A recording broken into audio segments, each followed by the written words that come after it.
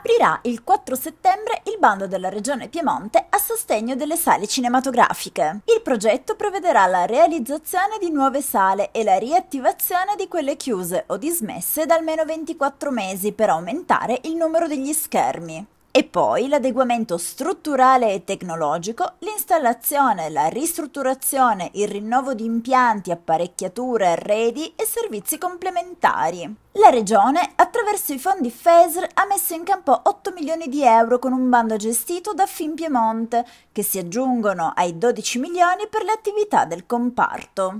Sono 117 le sale cinematografiche piemontesi e 259 schermi in funzione che dall'inizio dell'anno hanno attirato 2 milioni e 630 mila spettatori in un comparto che complessivamente occupa un migliaio di addetti. Abbiamo cercato insieme all'assessore Poggio di mettere dei soldi in modo che una, da una parte le sale cinematografiche riuscissero a rendersi più competitive e più moderne, dall'altra parte a tirare produzione perché poi è lì anche la sostanza del ragionamento perché più produzione produzioni ci sono, più indotto c'è, più eh, economia gira, più occupazione c'è. Ecco, in questo senso crediamo di aver centrato l'obiettivo e pensiamo realmente di aver fatto il bene di questo settore che già funzionava prima, ma oggi realmente con questi 20 milioni può andare ancora più forte e diventare addirittura forse la seconda regione in Italia dopo il Lazio che in questo caso è imbattibile.